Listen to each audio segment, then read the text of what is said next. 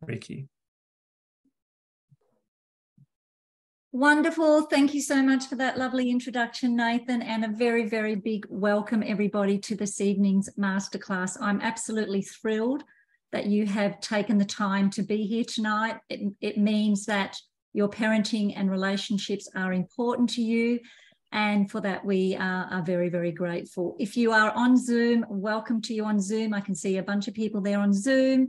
If you are on Facebook Live, welcome to you there as well. We really encourage you to participate this evening, to write comments, to yeah, say hello, let us know you are there. If you're on Zoom, let us know you're on Zoom. If you're on Facebook, say hello on Facebook so that um, yeah we know you're there and also nathan is going to be popping your names into the wheel of prizes that we will draw um, at the end of this evening's masterclass so let's get moving. Are you ready for an amazing journey with your family filled with ease, joy, and calm? I'm assuming that is a big yes from everybody.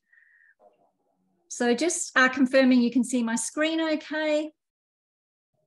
So a huge, big congratulations for joining us in this Parenting Masterclass. We really want to acknowledge you for being here live tonight. Um, or if you're listening into the replay, um, Thank you for, for tuning into the replay.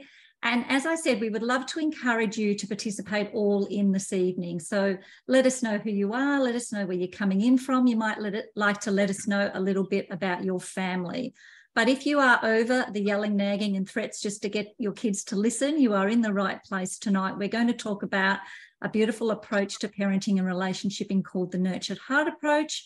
But before we do that, we're going to share a little bit about our story. Now, I actually do have a magical parenting wand here. So if I was to wave this magical parenting wand, what would you most love us to magically do or solve for you? So if you'd like to pop in the um, in the comments on Facebook or on Zoom, what would you like us to solve for you or help you with? What would you like to get out of this master class this evening? And by the end of the masterclass, I want you to please take note of something that you've learned that will be helpful, helpful for you and helpful for your family and relationships. And then also to be thinking about what will your action steps be moving forward? Because of course, we when we learn something, if we don't take action, then it's really been a bit of a waste of time. So we need to take action. So what will we cover in this masterclass this evening? Um, we will, I'm just going to mute. Uh, we will uh, be covering our family's journey and why we are so passionate about helping so many families to enjoy happier and healthier children and relationships. Uh, I'm going to talk about how I was introduced to the Nurtured Heart approach. I also have one of my friends and colleagues on with us this evening who is also an advanced trainer in Nurtured Heart approach. He's going to be jumping on towards the end of this evening's uh, presentation. I'm going to talk about what is Nurtured Heart Approach and uh, how it can help all of your relationships. I would love you to put in the chat, whether you are on Zoom or Facebook, have you heard of the Nurtured Heart Approach? And maybe what do you know about it? Um, I'm going to talk about transformation starts with us, inner wealth, and building a positive portfolio. Then Nathan, who you heard just earlier, is going to come in and share with us around health and wellness for you and your family. And then we will finish off with what we can offer you if you want to learn more and strengthen your relationships. And Rachel will come in then. And we've also got some prizes to give away as well. So please do stick around to the end because for those who stick around to the end, you will go into the prize draw uh, we will be giving a prize, an amazing prize away of a 50% discount for our Nurtured Heart to Greatness Rolling course, which is a huge, huge prize. Uh, two one-on-one calls, uh, 60 to 90 minutes with myself, and then also a supplement voucher from naturopath Nathan. Okay, so who am I? Nathan shared um, a little about me, but I'm the mum of now two adult sons. Our story is, is about our youngest son, but of course it does involve our eldest son as well. I am a primary school teacher by uh, profession. I have a degree in the Bachelor of Education. Um, I also have a degree in what we call tongue in cheek, a degree in TTP, which is tried and tested parenting.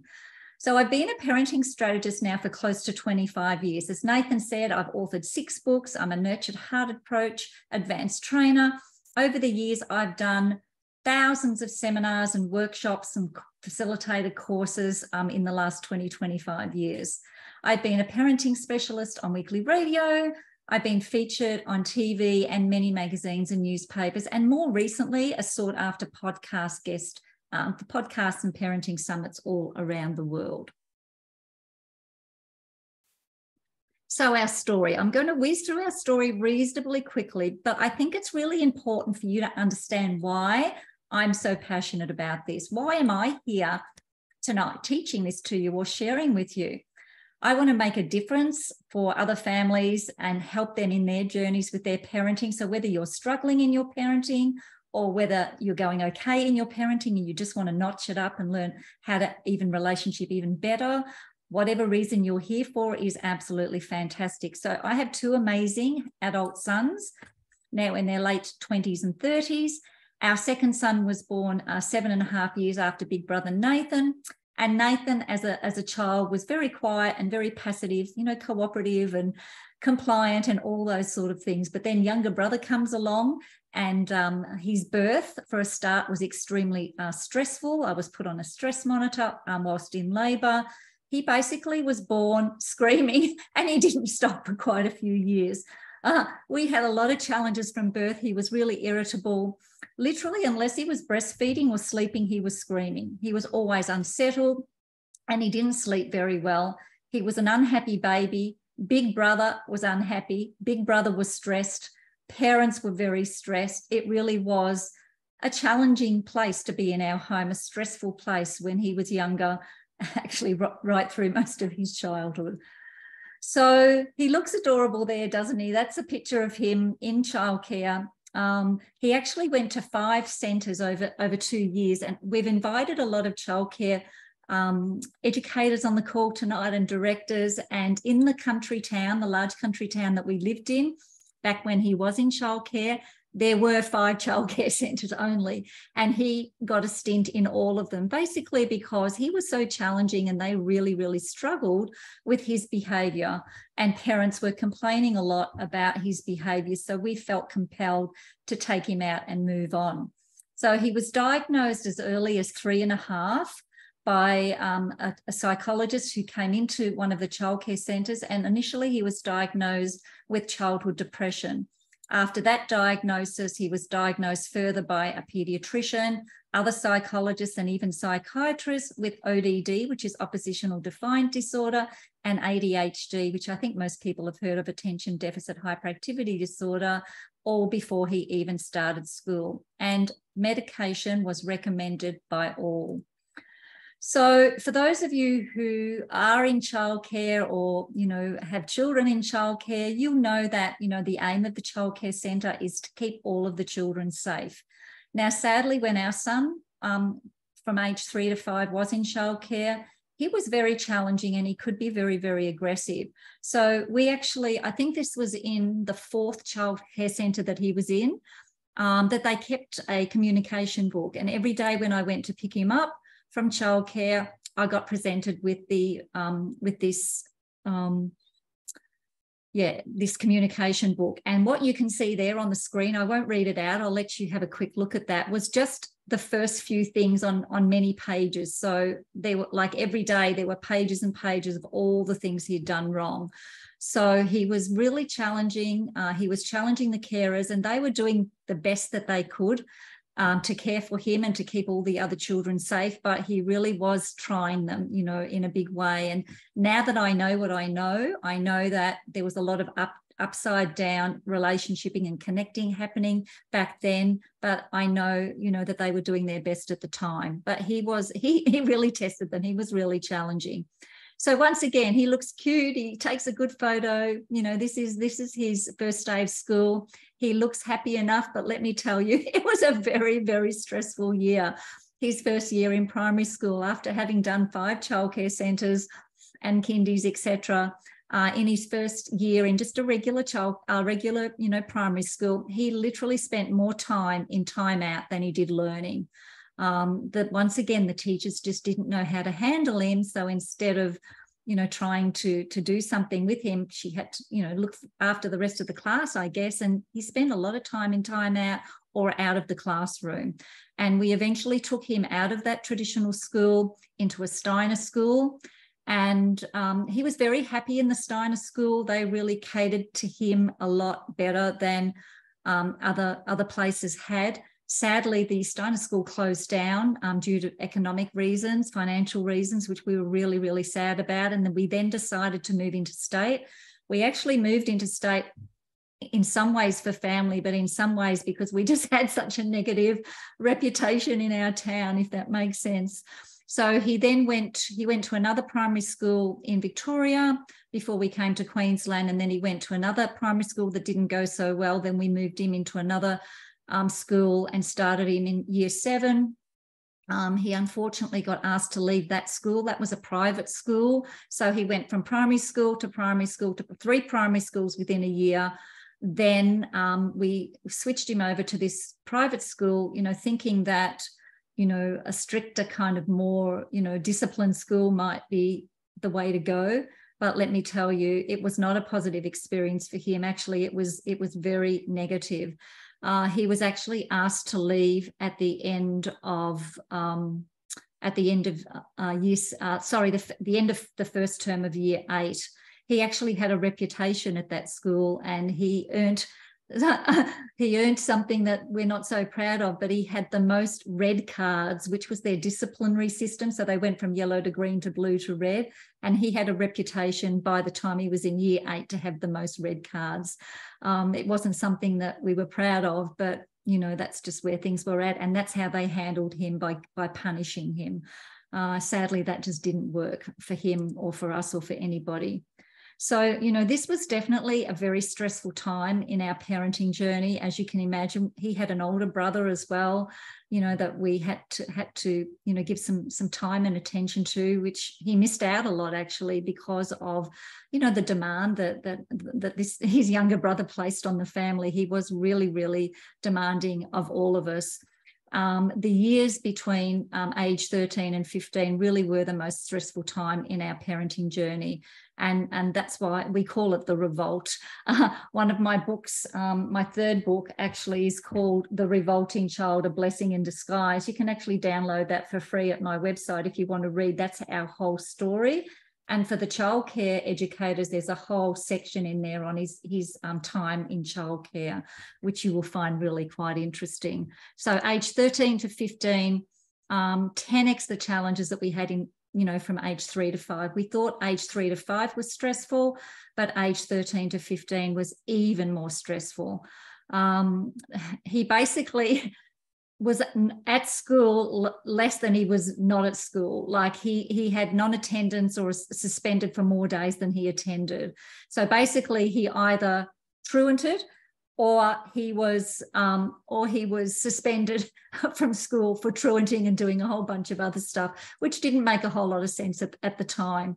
Um, he had a terrible, terrible reputation with the teachers. We had many, many calls from the school, um, and he was labelled as a as a troublemaker at school sometimes getting into trouble for things that he didn't even participate in because he had such a reputation. Can anybody relate to any of what I'm saying, either from the perspective of in childcare or even, you know, through primary school and secondary school? I know it was extremely, extremely challenging. And he started mixing with the wrong crowds he started getting into very inappropriate behaviors, in trouble with the police, use your imagination, hanging out with kids he shouldn't have, doing things he shouldn't have, taking things he shouldn't have. And it was very, very stressful for his father and myself, who are good parents. We're good people. You know, I was a teacher.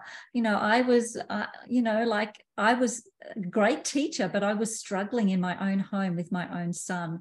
So if that's you, please please know that you're not alone in that in that feeling he ended up leaving school or let's say got kicked out of school at 15 uh, with very poor school attendance and grades uh, then, fortunately for us, um, and this is another whole story which you can actually read in the Revolting Child book if, if you choose to, to download that and read it. Um, he, um, we actually met with um, the universe helped us to um, to meet a parenting coach called Frank. We called him our angel. We never met him in person. He was from the states. Um, we did very very regular coaching calls with him for two years. And he really, really helped us to get back on track, which is why I'm so now passionate about being a parenting strategist and a coach helping other families as well, because he really literally saved our family, saved our life. So we just started coaching with um, with Frank when we had an incident, which is probably, if I was to be totally transparent, the worst parenting experience in my absolute parenting journey of you know 30 odd years um, I was doing a lot of what we call upside down parenting, you know, the yelling, the nagging, the threats, um, and it was all very upside down. And I'll talk a little bit more about that if you don't understand what that means. And that led to very, very challenging and disconnected relationships in our family. There was an incident where um, we had just recently connected with our coach, so we hadn't really, you know, we were just starting to, to, to get um, a feel for, for what he was teaching us and I got yet another phone call from the school. You know, your son's been in trouble. He's um, he's done this, this, and this. He's going to be suspended for 20 days. We need you to come up to the school. And this was in November, you know, get edging towards the end of the school year, and he was going to be suspended for 20 days. It just didn't make sense. Anyway, they called to let me know that he'd taken off from school. And I just figured, you know, he was angry, he'd come home he did come home eventually, actually. And instead of being a, a beautiful, compassionate mother and saying, How was your, your day? You know, even I heard, you know, I got a phone call from the school, but tell me your perspective, you know, what happened, what's your side of the story. I just went straight into upside down parenting. How could you do this? I'm over getting these calls from the school. Why can't you behave? You know, you're grounded forever. Keep in mind, he's now, you know, 15 and taller than I am. So and with that, the poor kid, when I look back on it, it makes me feel so sad because he must have thought, even mum doesn't believe in me. Even mum's not even willing to hear my side of the story. To cut quite a very painful story short, over the next four to five hours, um, we were trying to find him, figure out where he was. My husband got in his car, drove around our neighbourhood. We, fi- we found him finally uh, much, much later that night in an absolute drunken stupor in the gutter. That's not him in that photo, but that's pretty much when he, what he looked like. Um, my husband had to carry him home. He was vomiting. He was he didn't even know his name or who he was, and it took him two days to sober up. He was that bad, and in that time, we had we did some coaching with with frank our parenting coach and um, we dealt with that situation in a very very different way. I don't have time to go into that tonight but a lot of what i teach now with the nurtured heart approach is what we did in that situation. It was not pleasant initially i can tell you. So as you can see there you know he had this kind of you know defiance you know this kind of you know revolting um, um, revolting look about him. And um, after the after the revolt and when the healing you know began you can actually even see the difference. He's the same kid right? But you can just see the softness in his face and you know that he, he looks happy there. And after you know 10 months you know of, of working with our parenting coach, boy, did we have some absolute transformation. He mended his uh, relationship with his big, big brother Nathan, and that at that time was extremely stressful. Um, and now, as, as fully grown adults, they are, are, are good friends, great friends, dare I say. They have a lot of common interests they hang out together they do things together and you know they've they've really learned to love and appreciate each other which is just beautiful to see from a mother's perspective but it definitely wasn't that way back when our son was you know 14 15 16 so this is my gorgeous family. So my hubby Andrew and myself. This is my youngest son. This is Nathan, um, my eldest son, and, and Amy, who's is Caleb's partner. So I have a beautiful, beautiful family. Um, Caleb has actually been working with his dad now in business since 2012. So this is their 12th year um, of working together, which is absolutely amazing, considering that he got kicked out of school at 15 and was told, we were told by the principal that he would never achieve anything, that he would never get an apprenticeship with his attitude and with his grades. Well, my son went to and proved him differently. Not only did he become an electrical contractor, but he actually went into business and has a very successful business with his dad. So they are um, absolutely not only business partners, but best mates as well. He's such a beautiful young man. So this was written when he was 15. So this was written, you know, to his dad to show his dad his appreciation of, you know, he wrote one for me as well, but I'm just sharing the one he wrote for his dad here. And he wrote this beautiful poem to his dad. He he wrote beautiful poems to me as well. I've got them all. They're just beautiful. Um, he's a very soft, you know, heart-centered communicator. He's really good at communicating. And I still get beautiful notes and flowers and and recognition and acknowledge from him now all the time. He's just a beautiful young man. And I'm so glad that, you know, we did the things that we did to get to where we are today. Because sometimes I think when you're in that stress, you feel like you're distressed to the max and, you know, traumatized by everything that's going on. Sometimes we can't see beyond where we are in the moment. So if you are in that situation, please know that there is hope that things can improve tenfold, absolutely without a doubt. So I want to share with you Nurtured Heart Approach. This is, is what I'm super, super passionate about it came to me by accident. Um, I actually um, had I had been coaching parents for many years before I found out about the nurtured heart approach. But I, I guess, and I've written six books, but I was always looking for something that I could teach that was a little simpler and more systematic for parents to be able to take on board. And I, I found out about the nurtured heart approach quite accidentally um, by um, a psychologist that I met at an event and when I shared with her, you know, what I was doing, she said, Oh, is that the nurtured heart approach? I'm like, No, I've never heard of that. So I went and Googled it and found out about it. Um, I actually became a groupie for, for the, the, the psychologist who was teaching it here in Australia. And in 2014, when Howard Glasser, the founder of the Nurtured Heart Approach, came to Australia for the very first certified training, I was there in the very first one. So I became a trainer in 2014. And then in 2021, I then became qualified to be an advanced trainer. So this is a little message from Howie. So I'll just play this little video. Hi, Lillian. Hi, my friends in Australia. Um, I am so happy you found your way to the Nurture Heart approach. Uh, you're in the best of hands, and uh, I hope you enjoy the ride. It it will be revealing and fun and empowering. Be well. Thank you, Howie. He did that especially for me, which was very sweet of him. He's he's my mentor. I really adore him. He's an amazing man who has such a passion for helping all families and all children to, to flourish. So the Nurtured Heart approach initially did start because Howard Glasser is a family counsellor and he used to work with um, with challenging kids, with kids, a lot of kids who had diagnoses like ADHD. And initially, the um, the approach was um, devised for those kids to deal with those um, those labelled kids, those you know kids that that had ADHD and other and other such things.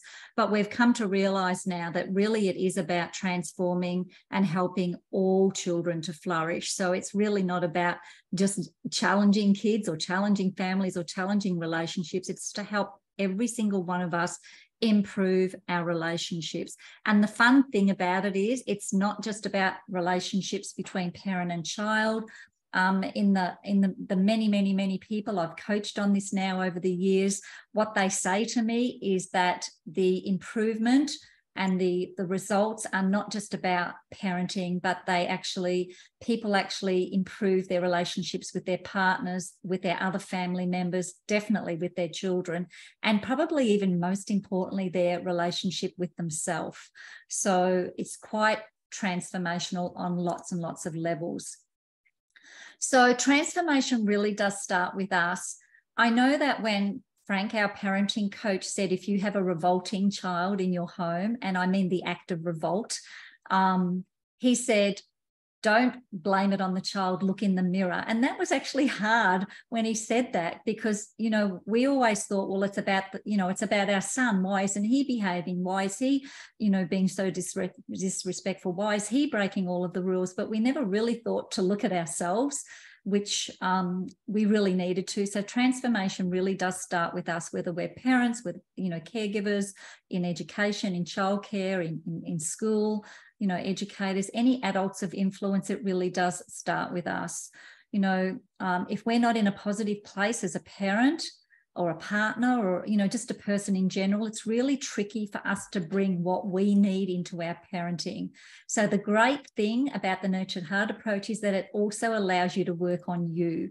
So you get to you get to see you for the wonderful qualities you have and that are growing in you. And you get to acknowledge your greatness your strengths and build on your own inner wealth as well as um, that of your children which is what i love about this. People always say to me lillian this is so much more than a parenting course it's so much more so in the nurtured heart approach we aim to build what we call inner wealth um, and a positive portfolio for our children. So, what is inner wealth? For me, inner wealth encompasses a lot of things. It would be a combination of we talk about self esteem, self worth, self self love, you know, self appreciation, really seeing ourselves as the absolutely amazing, incredible person that we have with so much greatness. So, our goal is to really help build that inner wealth in both ourselves and our children.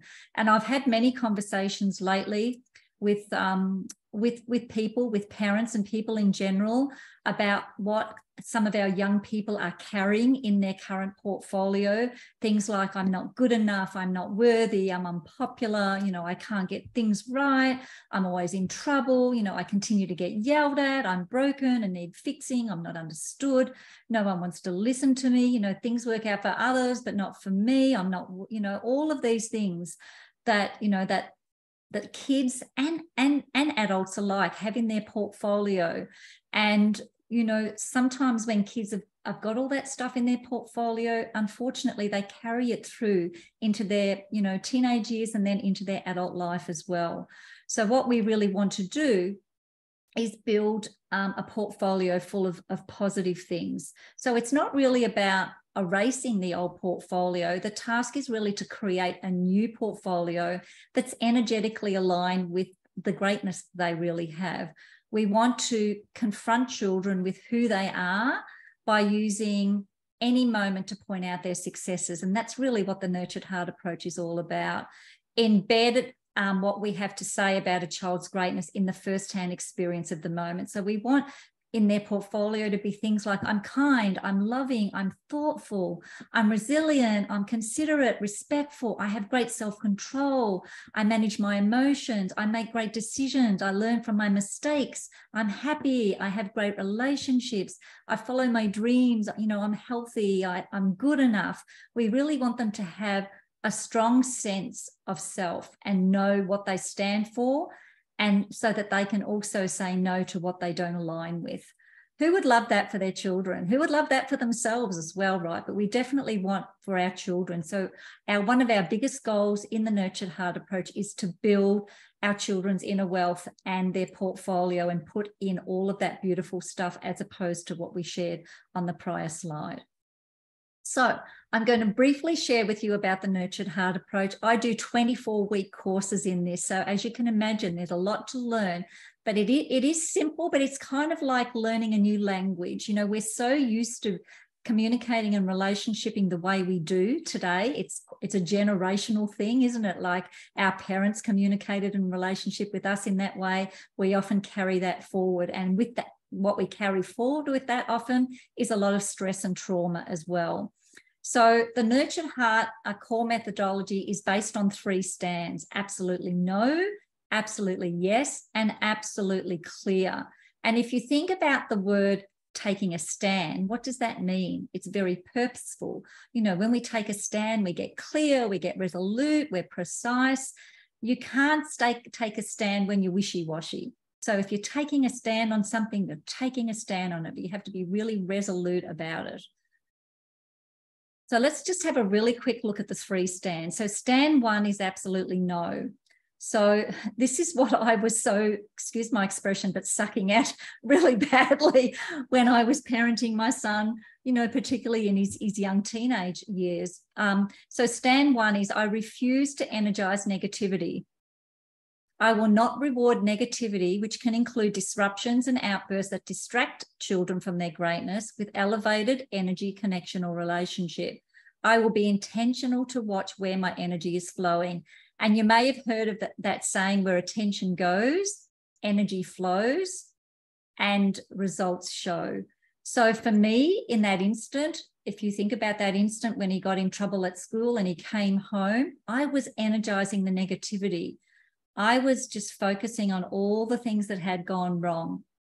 And I wasn't even looking for, you know, anything that might have gone right or even giving him the opportunity to talk about that, if that makes sense.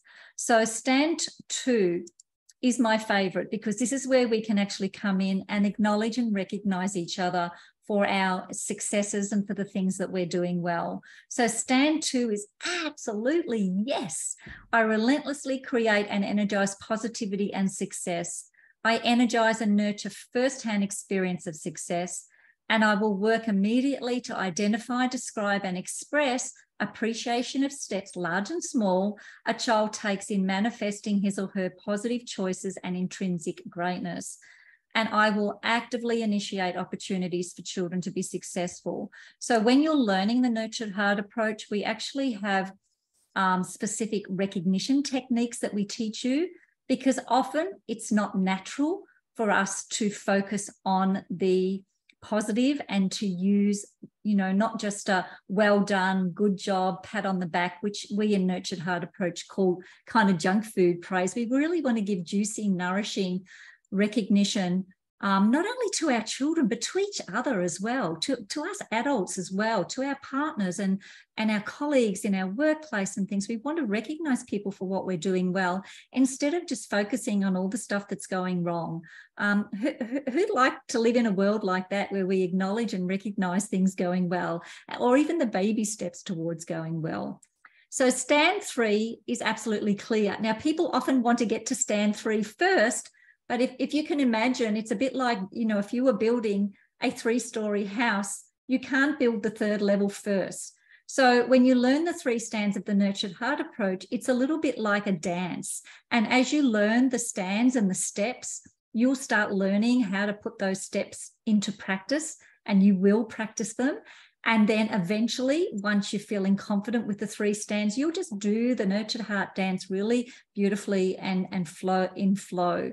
So stand three is being absolutely clear. So it's being clear about limits and, and, and consequences, um, and you enforce those in a really unenergized way. It's about um, I will consistently enforce rules and provide immediate consequences each time a rule is broken by the way of a simple form of consequence we call a reset. Now you'll learn about this in the in the course.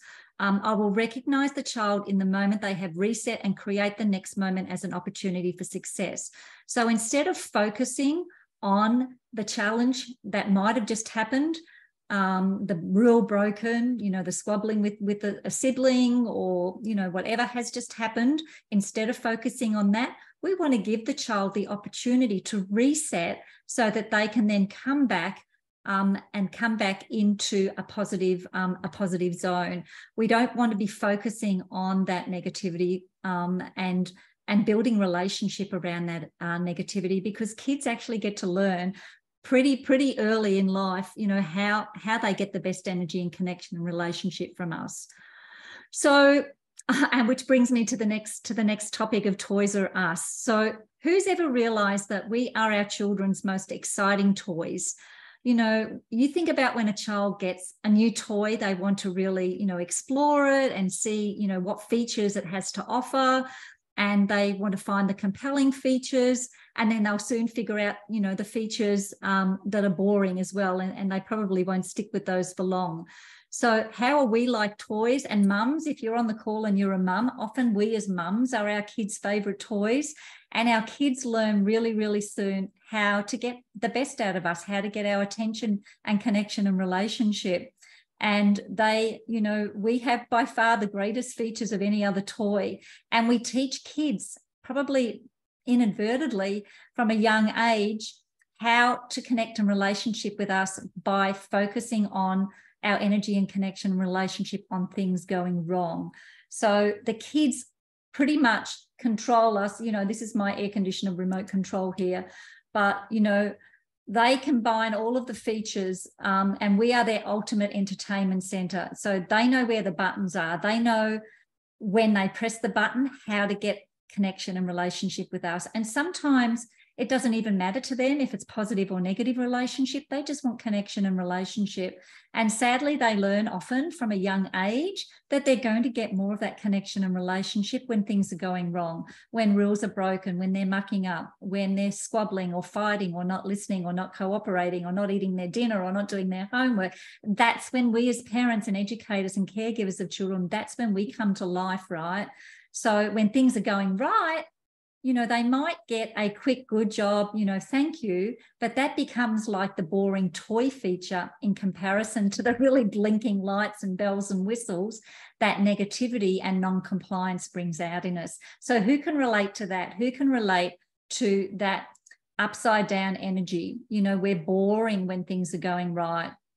And our responses to the positive pale in relation to those for the negative.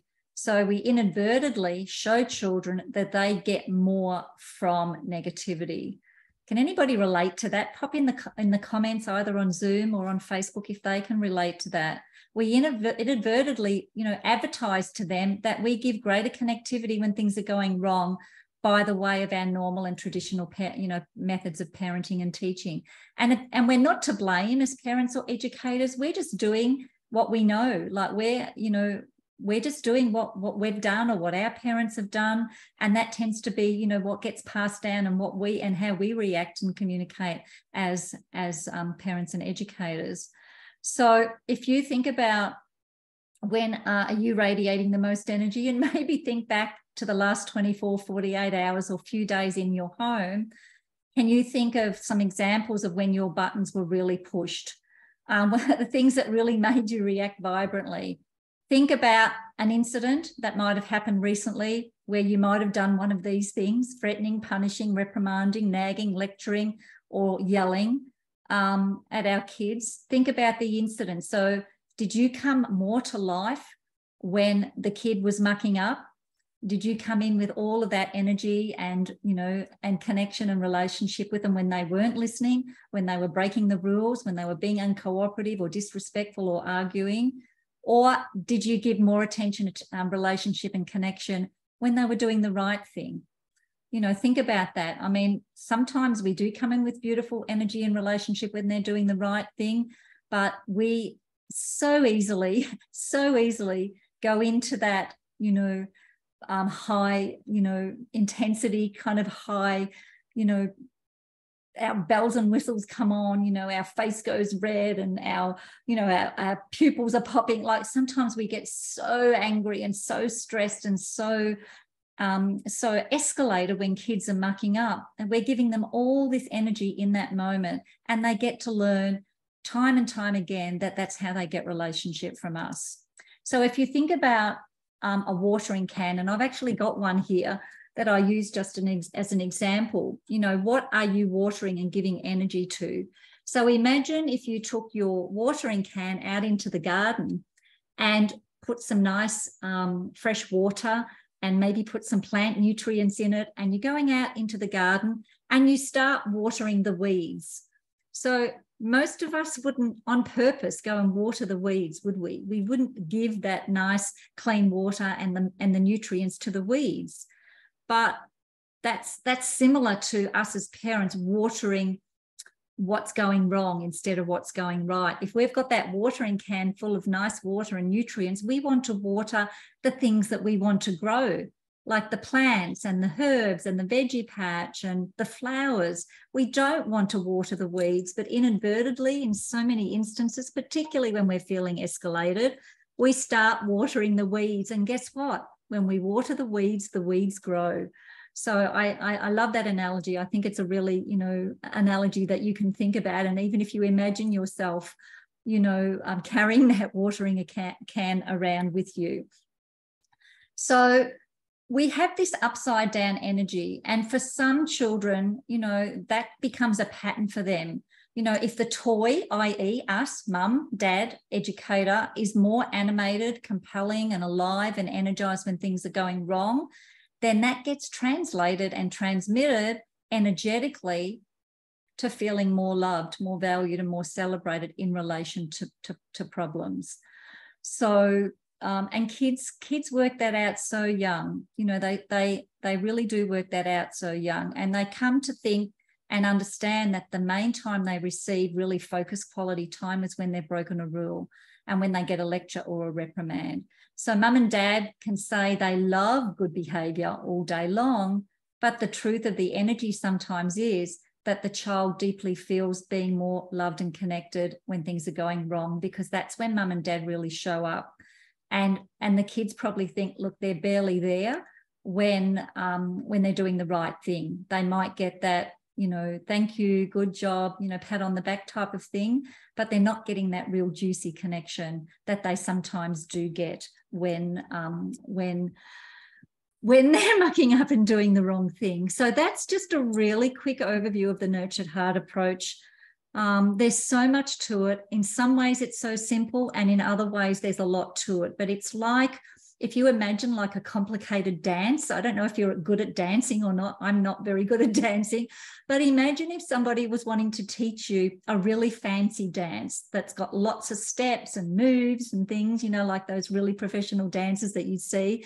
And you look at the dance and you go, there's no way I'm going to learn that dance if I just show it to you and go, okay, now copy me and do the dance.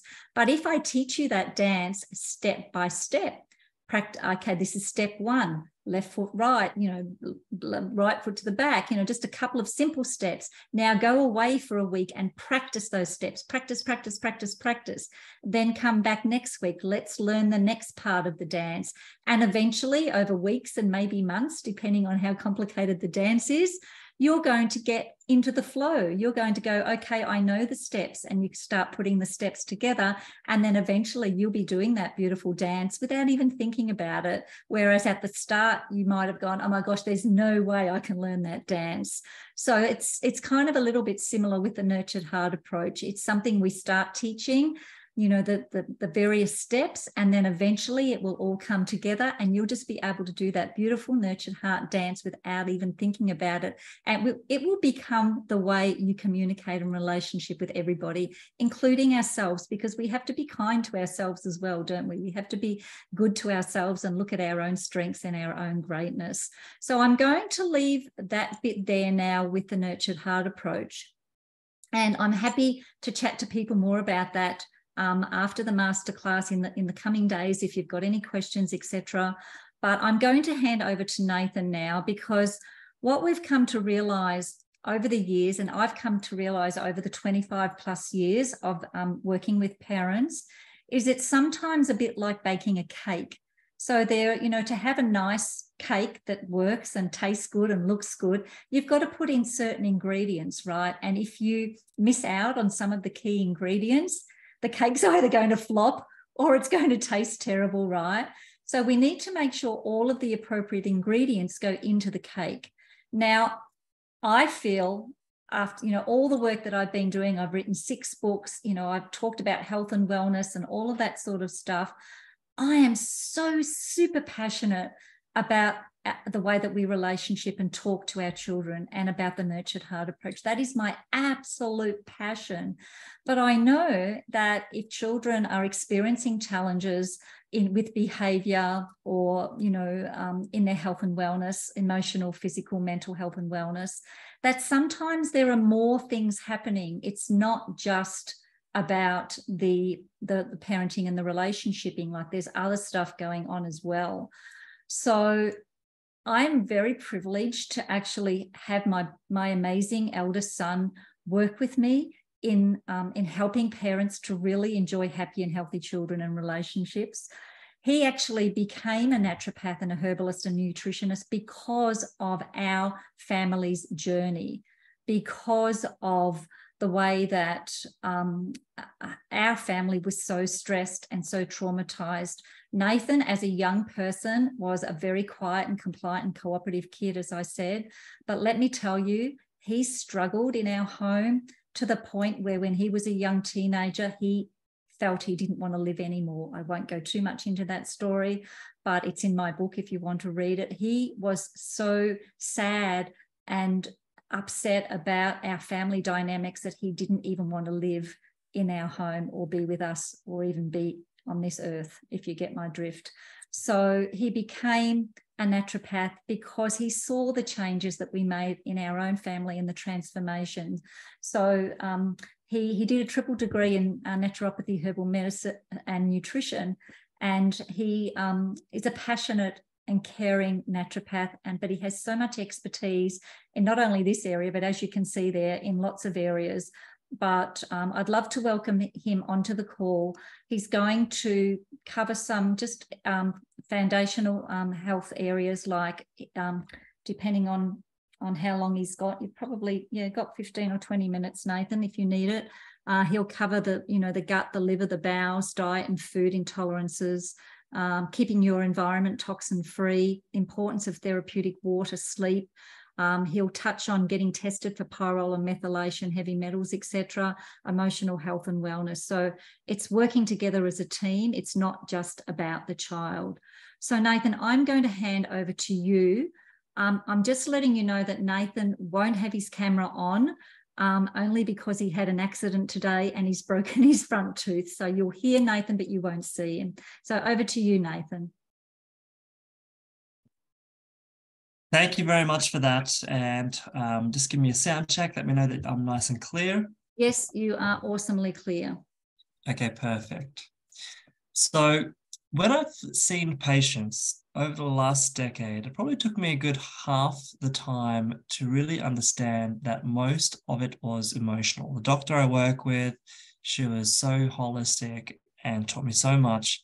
Um, but I'm very left brain and scientific. And so it took me a while to figure out it's not just all physical. Um, and that's why it's so important that you bring in all the emotional aspect that we've just been going through. But in saying that, if I was to summarize all of the things that I typically see wrong in most conditions, and the thousands of patients that I've seen, I'm about to run through them with you now. So, why is the gut so important? We're going to go through, if we can go to the next slide, and look at the connection between your mood and your gut bacteria. So if you can um, handle the slides for me. Perfect. So it's it's actually amazing to think that when you are eating something and you're digesting the food and you're breaking the nutrients down and, and, absorbing them, you're also feeding an entire ecology of bacteria. And we are actually more bacteria than anything else. And that bacteria has a huge influence on who we are, how we feel, and how we think. And anytime we're eating something that damages the lining of the gut, whether it be food intolerances, uh, and you might find that you physically react to that. It could be constipation, or it could be bloating or gas, or just really tired. Um, these are some of the questions you'd be asking your children, like when they're eating, or if you're noticing that they um, are getting irritated or their behavior is worsening, just start asking about what else are they feeling in their body because their external um, symptoms of you know misbehaving might be a result of what they're feeling internally and that is just damage to their gut. Uh, unfortunately, when there is damage through either eating something that we shouldn't, um, or just in general mentally being stressed, the lining of the gut opens up and allows toxins to come into the body and damages all the good bacteria that are living throughout this mucosa membrane. And we then call this dysbiosis, where the gut becomes permeable and continues to leak toxins in. Next slide. So when it comes to uh, you know the typical things to look out for, these are the ones to look at at the back of packaged foods. So it's really a good idea to take a photo of this or ask for a screenshot. Uh, and just keep in mind that if you can't read the ingredients on the back of foods, probably shouldn't be eating it. The cleaner the food ingredient list, the better because as you can see, if you look at some of the um, additives, and this is just additives, right? There's so many more artificial flavors and colors. Uh, and you can see there on the right hand side some of the symptoms from it. But you'll notice, and I 100% noticed in my brother when he ate something he shouldn't, it triggered him severely. So again, let's just stop damaging the damage, stop damaging our body and our children's body by looking at what we're eating. Next. So once you've done that and you've looked at, okay, here's all the foods I've cut out, all the artificial stuff, anything I can't recognize, what are some of the important things that I really need to make sure in my child's diet? It's not also just about your children, it's about you as well. But especially for children, um, here's five of the top nutrients required that I typically see low when I'm doing mineral tissue uh, analysis. So zinc, B6, magnesium, vitamin D, and fish oil, of which EPA and DHA make up a type of omega-3. So you can see on the left-hand side, again, you can go back to this and, and pause it and look at it later, uh, but all of the symptoms for mental health associated with a deficiency of zinc. So wherever you see the Y, it says, yes, that's associated with not having enough zinc and um, what that is likely to cause, or it'll show you what the mineral is actually doing. So if we can go to the next slide and you'll see that not just mental health is affected, but also the way our body is healing and the way it's regulating our body, whether it be sleep or muscles, um, or just the growth of your child, improving how well their um, brain is developing, you can see all the important nutrients um, and essential fats involved. So simply just making sure you're getting enough of those nutrients is going to make a huge difference. The other aspect I find is once you've stopped damaging the gut and you're bringing in all the good nutrients, it's like, what else are we being damaged by? And unfortunately, our environment is quite toxic. And you can look at some of the stats here where pesticides are being associated um, with the impact of the brain development and the incidence of ADHD and other mental health um, you know, labels. I don't like to use labels, but um, that's just what the stats show. We really need to make sure that the foods that we're eating, we do something about removing the pesticides or choose organic and spray fit free in the first place. And next. We actually put together this bit of a home audit. Um, and again, if you can, you can request on the Facebook page for this, uh, it is essentially a something you can print off and you start looking through your personal care uh, and anything you're putting on or in your body uh, for the first two categories, you can look at uh, any of these red ingredients in my cosmetics or in the shampoos and conditioners or body wash that my children are using. And if you're seeing quite a few come up, on a cumulative basis, along with everything else like electromagnetic frequencies and Wi-Fi and uh, all the other chemicals that we're exposed to these days, they really add up. And so if you can just reduce and start to choose more harmful free brands that are very conscious of what they put in their products, then all of a sudden your body is not being assaulted you're not waking up on the on the back foot trying to repair damage being done by what you just put in it the day before. And next slide. A big part of what we put in our body and how our body detoxifies is through water. And you really need about 33 mil per body kilo of water. So if you weigh 100, that's 3.3 liters. Uh, and most of us are just not simply getting enough water. And I recommend all my patients drink as much as they can to get to that 33 mil per body kilo minimum. Um, but a lot of the time, they're just drinking tap water. And as you can see, tap water, if it's not therapeutic, is going to contain all of these toxins. And we at least need a filter that's going to remove these. And in the next slide, you're going to see what happens um, when we are able to remove these chemicals uh, what we can then do with water, and we call it therapeutic water. So water can just be cleaned and it's run through a filter, uh, but we can then take it the next step further and use the opportunity of drinking water to then actively repair our body.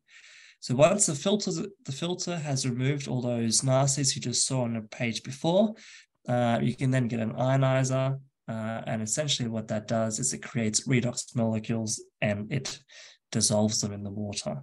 And these run around the body, removing free radicals, uh, repair through increasing our own antioxidants and, and also being able to um, remove acidity from the body. The water can also be used to remove pesticides. So we spoke about that before from I think it's about 80 plus percent can be removed from foods if you do happen to buy them from the actual supermarket, for example, and you don't have time to go to organic markets or simply sometimes organic food is just so expensive that if you can remove like 80 plus percent of the pesticides, then that's a really good outcome, being able to then um, feed the family with food that's just not poisoning them at the same time.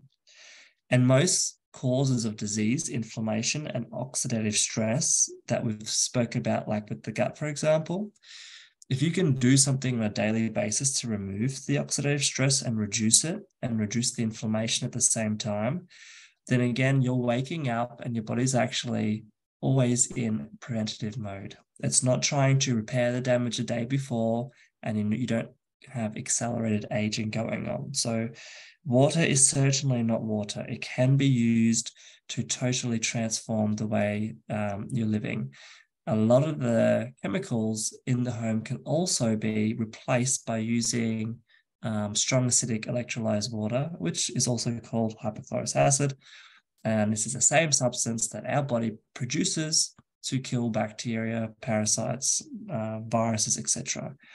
And within 10 seconds of spraying this water, which is also safe to like drink, you've killed the surface bacteria on chopping boards or on your hands after the toilet, and you're not having to use all the harmful chemicals in the home anymore. It's between uh, washing your food and cleaning uh, without chemicals. Again, you're just reducing how much damage is being done to the body. Next slide.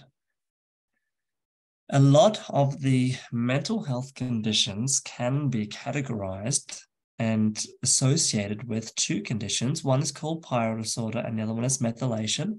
Dr. Walsh has done extensive research um, on these areas. He used to work for uh, a pharmaceutical company, and when trying to develop a new drug to help with anxiety and depression, he actually found out these two mechanisms and realized that there's no drug that's going to fix this. It's actually good nutrition. Um, and so he stopped working for, for pharmaceuticals. And now his goal is to train as many doctors and health providers as possible in understanding what these conditions are. So the way I like to the describe what pyrrole disorder is is using analogies. Technically, Pyrrole disorder is a predisposition to producing an excess of cryptopyrroles, which is a byproduct of like hemoglobin. Uh, and this process is triggered whenever there's oxidative stress. That's that substance or that uh, what happens from other substances, whether it be toxins, chemicals, viruses, or stress. Oxidative stress is created within the body, and that just triggers this process to get worse. And unfortunately, as our body is trying to remove all these additional cryptopyrroles, the cryptopyrroles are stripping us with the zinc and the B6. And you remember back on those charts how important the B6 and the zinc was at all those different conditions. They both helped and prevented, um, such as light sensitivity, anxiety, low taste, no dream, lack of uh, smell, um, decreased immune system. And again, if you go back on those other screens, you can see what other deficiencies of zinc and B6 were. So important for immune and hormones. And the analogy that I like to give is imagine you've got a big water jug and each day you're eating all this amazing food and you're topping this water jug up full of nutrients. Having pyrrole disorder is like having holes in the bottom if you are not amazingly filling this up every single day and you get a bit slack, and it might take a couple of months or a couple of years, but eventually that reserve starts to dwindle down because all these nutrients are coming out the holes faster than what you're filling in, the, filling up the, you know, theoretical water bottle, then all of a sudden you're going to start exhibiting these symptoms. And that's why you can have this condition, but not even really know about it, you know, for some time into your life or others, it shows up almost straight away. If you've ever thought, yeah, maybe I have like ADHD, I get irritable, I get anxious, I'm just a worry wart, most likely if you were to do a test, and thankfully this is a urine test, nice and easy to do, um, you, you may have pyrrole disorder. Great news, so easy to fix but it has a huge impact on the body if you do nothing about it. Methylation, on the other hand, if pyrrole is how many nutrients you're losing, methylation is how the brain is controlling the inflammation coming into the body, into the brain, and what to do about that information. Sort of like traffic lights. You know, they're programmed to go red and green to allow things to flow properly, the cars, traffic. In our brain, if you have two red traffic lights, you're essentially an undermethylator. The information is not being processed. And if you were sat at a set of traffic lights and they're both red, you're going to get very irritated, frustrated, depressed, anxious, worried, aggressive. Uh, and this is what's happening in the brain. Information's coming in, it's not being processed properly, things are being misunderstood. Um, and we are getting a lot of these symptoms. There's probably about 22% of the population that are undermethylators. And because methylation is regulating your DNA, it is so important later in life, especially for like helping to control the growth of mutated and abnormal cells, um, aging, and to prevent the body from making mistakes, which inadvertently turn into a tumor and, and you know worse possibilities. A smaller part of the population, if we can go back for a sec, uh, overmethylators, and this is when your brain has like two green traffic lights it's chaotic. These people are all over the place. They talk extremely fast. They can't relax. They can't sit through a movie. They just all over the shop. They're always like with their leg tapping. They're it's like they've got a pinball going through the pinball machine, bouncing all over the place. They just can't sit still. And you can totally recognize these people. I always laugh when I see one because I know, you know, what difference it makes if we can get them to calm down, slow down let the brain process the information and then send a signal, not just have the information come in and send a signal before it's even thought about what um, is supposed to happen.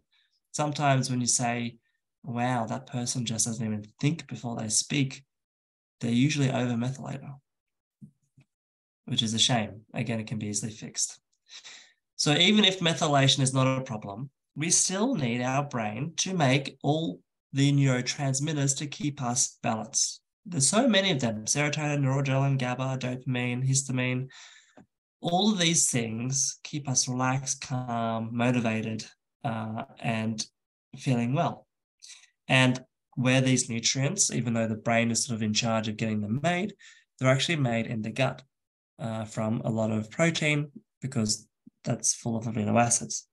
We also need vitamins and minerals. And guess what? Things like B6, zinc, and magnesium, which again you saw on those charts previously, um, so essential, and I often see them quite low. These are needed to help make these neurotransmitters. So, regardless of methylation, if it's good or bad, we still need the gut to be really healthy so our body can make the neurotransmitters and we don't want it to be in a state where it's in a dysbiotic state where it's all damaged. We want it to be in a healthy state. So when it does have all the nutrients, you can make these neurotransmitters. That's why I love doing a scan that we have at the clinic called the OligoScan. It shows us all of the minerals and vitamins and if they're in balance or if you've got deficiencies or even heavy metals that are blocking the function of these um, minerals. So if you're ever feeling yourself just like not balanced mentally, you're just not on top of your game, you can't get words out properly, you get irritated and frustrated, angry easily, you're always getting sad or noticing your partner, you know, no matter what you say, they're always sad or worried, or, or the children. A lot of this can be corrected if you just take better care of the gut, identifying food intolerances, looking at making sure there's no pathogens in the body, fungus, parasites, virus, bacteria, balance the neurotransmitters, do a test for methylation and pyrrole. And this way, our brain is making a nice regulated amount of neurotransmitters. It's not firing off because it's making too many and it's not too slow, um, unable to keep up, unable to keep up. So this is a very quick crash course into all the areas that I commonly see a problem with. Um, and thankfully, just through some testing and diet correction and lifestyle correction can be corrected. Keep in mind, these are all physical uh, and that's only a quarter of the story. Uh, again, our body is heavily influenced by epigenetic factors, and that is coming from what's happening in your lifestyle, i.e., the parenting, the kids at school, the teachers at school, friends. This has a huge influence on the body. And if we can get both balanced, then amazing changes happen. Awesome. Thank you so much, Nathan, for covering that. I, I've heard Nathan share this information so many times, but I always take it on board a little more when I listen to him. And I know that, you know, when we combine the parenting and relationship stuff with the physical and emotional stuff, health and wellness, really we get fantastic results. So, who here listening in tonight or catching the replay would love to enjoy a happier and healthier home, taking on board some of the stuff that Nathan's talked about, taking on board, you know, some of the stuff I've talked about with more loving, connected relationships with their children. Isn't that something we would all absolutely love? So if you're sick and tired of the yelling, nagging, and threats, that may be you, it may not be. If you crave a closer, more respectful relationship with your children, if you want to gain cooperation with your children rather than control, because it's not about control, if you want your children to be both happy and healthy today and growing into their adult years, if you want to enjoy your day-to-day interactions with your children you know stress-free um, if you just want your kids to listen and follow simple instructions or if you want to know that when your kids are all grown up and they've gone out and started lives on their own and they've got kids and and they've got their own families that you'll still be super connected then you'll really want to come and join us in our Nurture Your Heart to Greatness course. To me, that's something that I'm super passionate about. It's not just about the relationship you have with your kids when they're at home, but you want that beautiful connected relationship with your family when they grow up. You know, I we still hang out and do stuff together. We go on picnics together. We eat meals together. We go holidays together. We go camping together. We go hiking together we work together, we play together, and we are a really connected family because we've worked on our relationships. So, for those of you who stuck around, Nathan will be putting all of your names into the prize wheel. Um, so, if you're on Facebook and you haven't made a comment yet, please do. So, that's the only way we'll know you're on there. I know people have been coming in and, and out again. And if you're on Zoom, Nathan can see who you are there. So we're going to draw a 50% discount for one of our rolling um, courses. So that's a huge discount of half price. Um, we are going to draw two lots of one-on-one calls with myself. So a, a, a full-on consultation, talk about your family, your issues, your challenges, etc. And Nathan is giving away one of his um, supplement, well, a $75 supplement voucher. Nathan has an amazing range of beautiful supplements that he now produces as a naturopath, herbalist, and nutritionist that are just incredible. So, Rachel, we'll have you up very shortly, but just before we bring Rachel on, I want to just share with you my why. You know, when I think about how things could have been and where things could be now with our family, I shudder to just think of where things could be, you know, not only where our youngest son or even our eldest son could be, but where our relationships would be, how our family would be, or not be today. Um, so we um, we we practice the nurtured heart approach in our home. We have a, a, greatness jar where we acknowledge each other. You can you can read some of those there. That's just a few of them. Um, that we we acknowledge each other. And it's it's so beautiful to be acknowledged by your children. I can tell you that, especially when they're adults.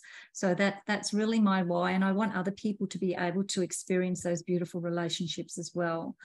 So we, we have um, our Nurture Your Heart to Greatness rolling course, which I've now, um, after many years of teaching this, formulated in a way that people can kind of roll into the course at their own um, at their own pace. So there are 24 weeks of um, online um, course content sessions that you can access and do at your own pace. I do suggest one session a week, but you know you can go slower if you want to. I don't suggest doing like a Netflix, you know, binge and doing them all at once. You really need to learn, implement, and discuss. So we have um, a fortnightly discussion, Q&A and discussion, live calls where you can come on and talk about your wins or your challenges. Um, in the 24 sessions, 11 of those are based directly on teaching the nurtured heart approach. There are three sessions with Nathan going into more detail about physical and emotional health and well-being. The fortnightly calls are probably one of the most valuable parts of it because we can actually really help each other on those calls. So it's not just you doing a coaching call with me as the parenting expert, but other parents helping helping each other and that beautiful connected um, community community that we have. So that Q and A and Ask Me Anything time um, is really for sharing with the group. Uh, you get um, a, a 60 page um, workbook that you print off um, that you follow as we go in the course and it's got you know notes and questions and your home play and everything in there. You also get the Transforming the um, Intense Child workbook as well, which um, is written by Howard Glasser, and that comes from, from the States. Um, you also get two one-on-one personalized coaching and mentoring sessions um, with myself. You get a one-on-one consultation with Nathan uh, as well and um, all of the recordings are available if sessions are missed and you actually have access to those recordings in a secure vault forever and you also have access to the live um, q&a and discussion calls for as long as you want. You can stay on those for six months one year two years as long as you want.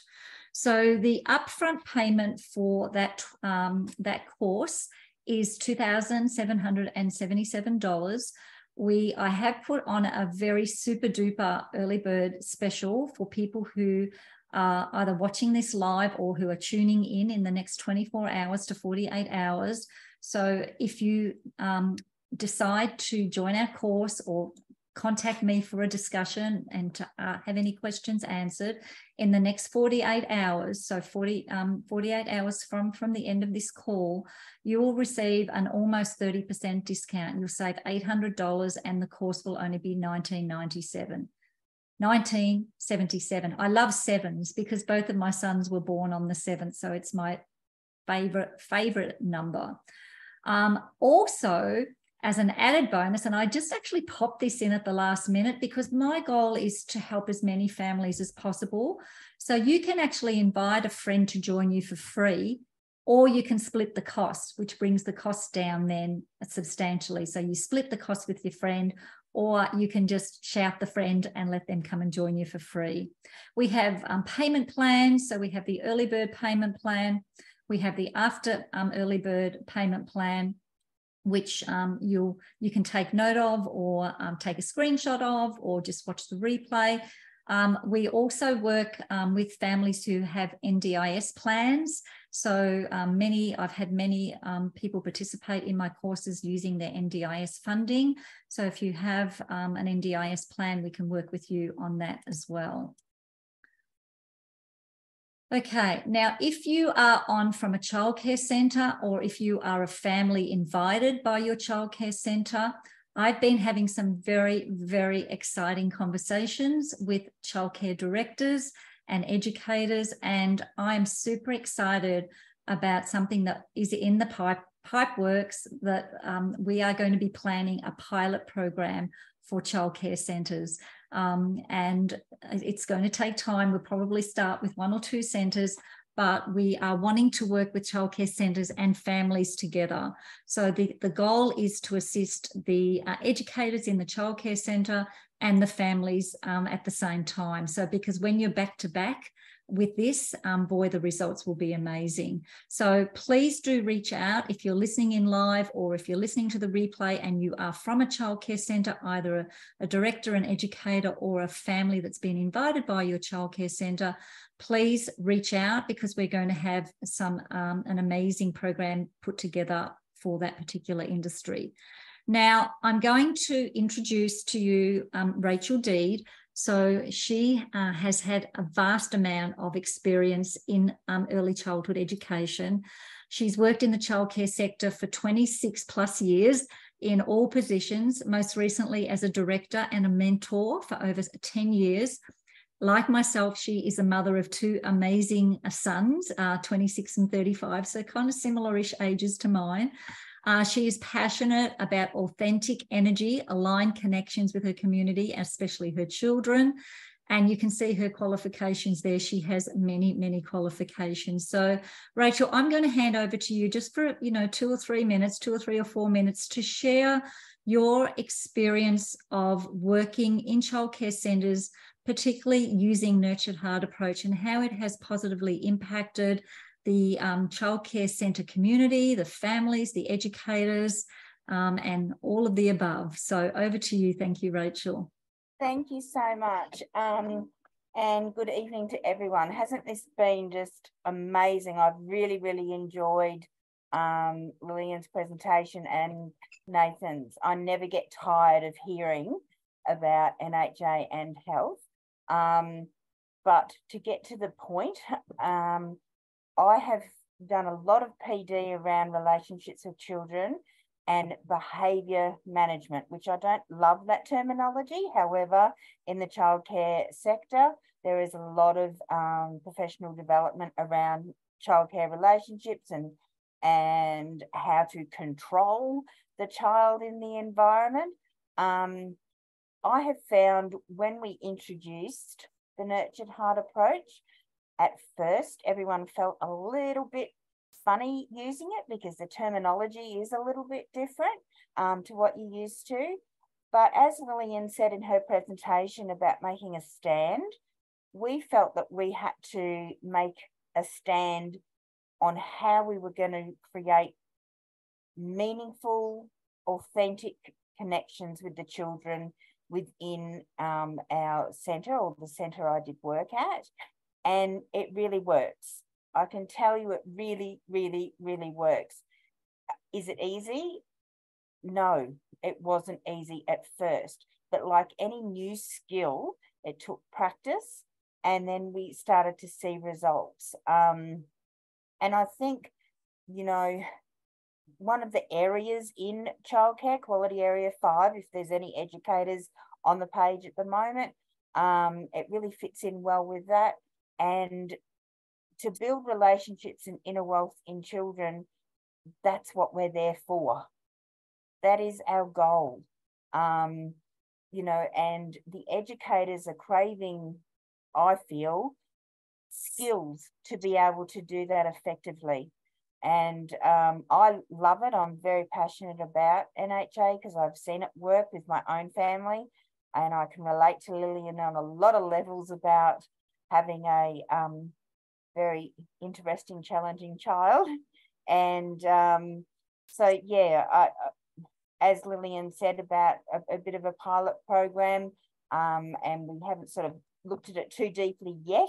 However, um, I just feel that the relationships between the family and the educator are paramount, and then the educator and the child and it all works in together.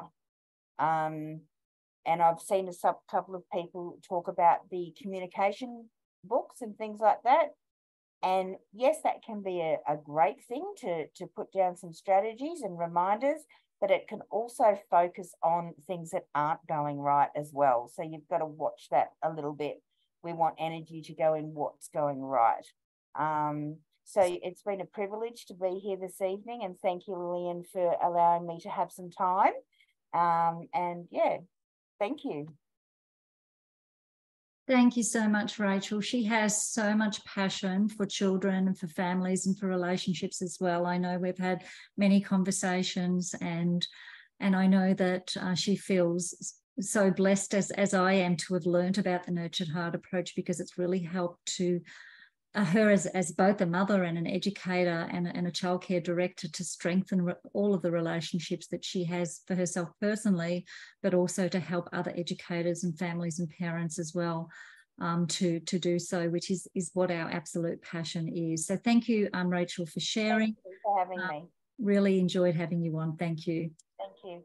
Now, for those um, who um, you know looked at the course and thought, yeah, that looks amazing, but right now um, I'm either not ready or able to join the complete course and have access to the complete course, but you would like to just join the fortnightly Q&A and ask me anything in discussion calls. I'm really putting lots of stuff in tonight, like early bird offers and bring a friend along for free. And now I've decided to, because I just want to get this out there. I really just want to get this out there with so much passion.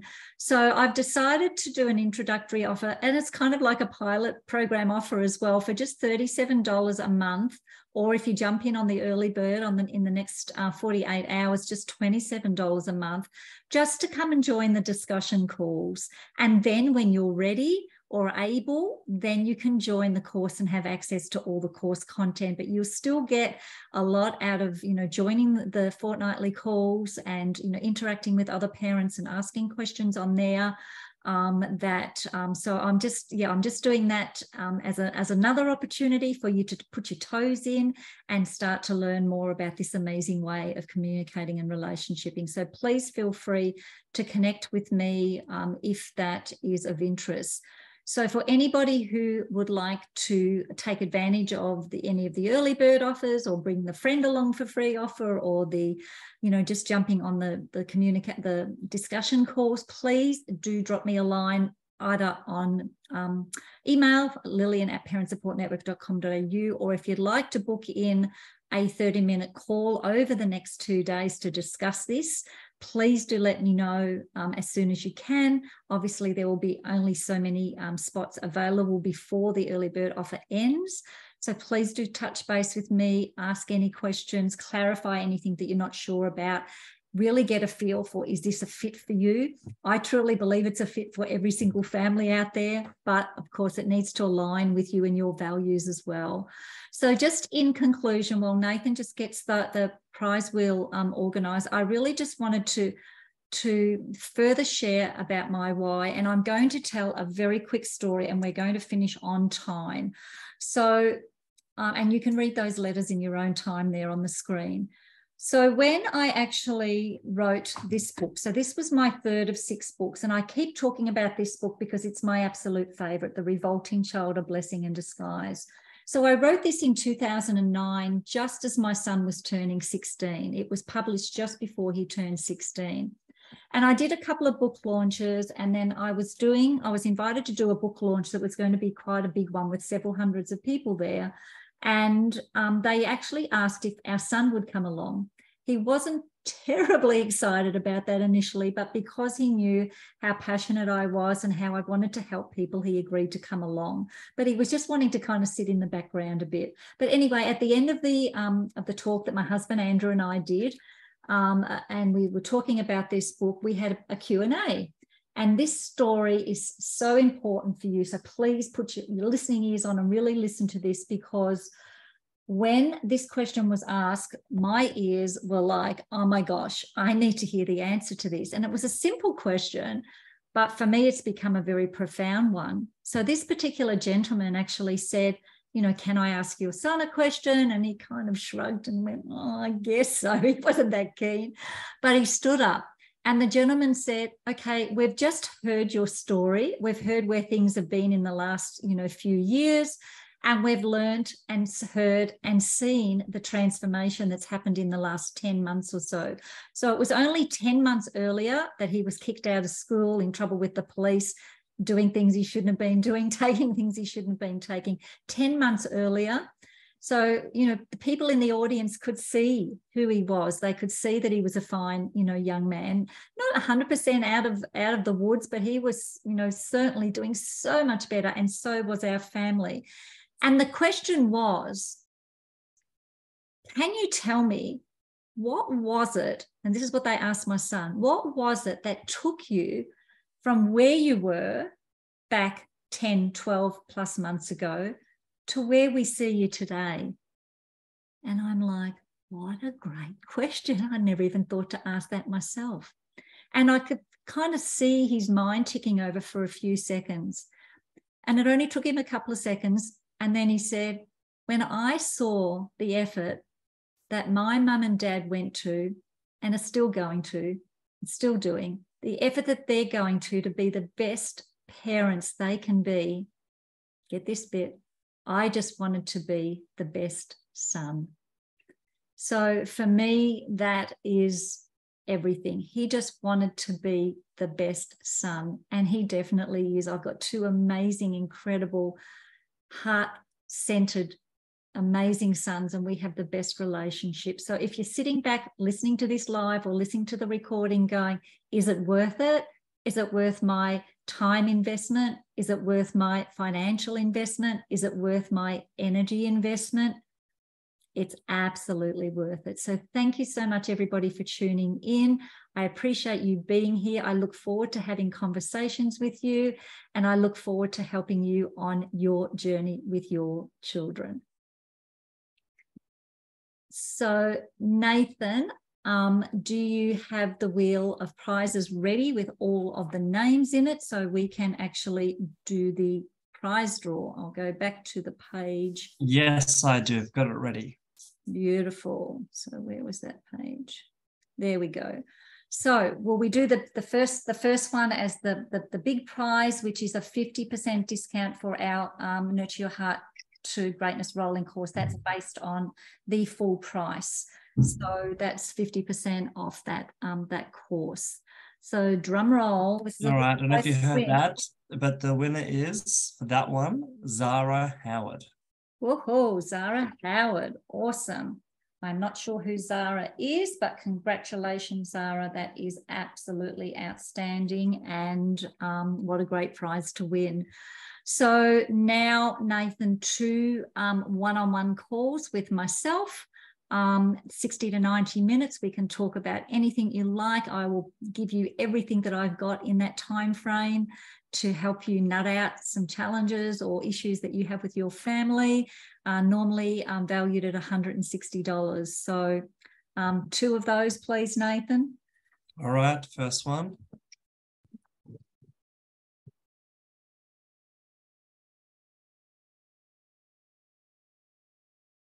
Angela Han. Angela, what was the surname? H A N. Han. Beautiful. Yeah. Angela, congratulations. Um, please do get in contact with me, Angela, so that we can organise a time. The same with you, Zara. And uh, another one, Nathan, for a, a consultation.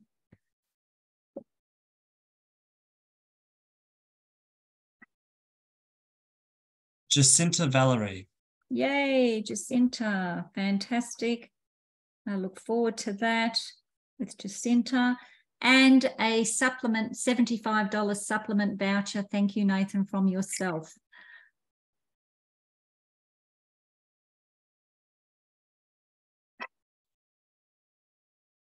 Uh, Rachel, Rachel Deed.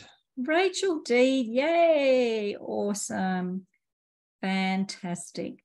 Thank you so much, Nathan, for that. Um, Nathan had a little spinning wheel in the background where he was, um, yeah, uh, how he, he got your names on there. So thank you so much, everybody. Um, we have finished literally right on time. So thank you to uh, Nathan and um, to Rachel for helping me be on time this evening. I really appreciate that. Thank you so much to everybody who has tuned in this evening, whether it be live or whether you're listening to the Facebook recording or whether you're listening to the recording. I so appreciate you being here. I'd love to have a conversation with you about you and your family, and um, I look forward to connecting with you further. So thank you so much. Any any final words from you, Nathan or Rachel? No, well, I think I've covered everything to cover. Awesome. Any final words from you, Rachel?